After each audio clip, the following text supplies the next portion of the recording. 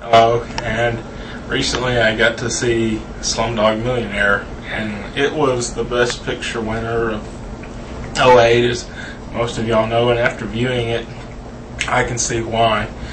Um, it was very unique and very different. It dealt dealt with Indian culture, which is something that I don't really know that that a lot about. But knowing or watching this movie, I found out some things that I didn't know, and it was it was very good. I understand why it won Best Picture, but I don't understand why it uh, won Best Director because Danny Boyle's not that, in my opinion. It's just my opinion. He's not that great of a director. And if you disagree with me, that's your opinion too. You're free to express it. But it was very good.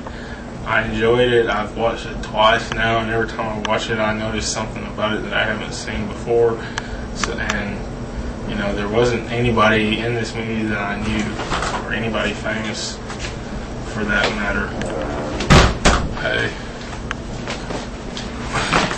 sorry for the interruption. Live, yeah, live shows. So, anyway, uh, all in all, I would give it a 9 out of 10. And most of that comes from just like the visuals. However, the very end, when they did that dance scene, that kind of reminded me of High School Musical. And that's sad because we have this, you know, intense movie that we sat through for two hours, and then it ends with a dance scene. And it kind of reminds me of Thriller and High School Musical. Didn't it, you, cameraman? Yep. So, all in all, 9 out of 10.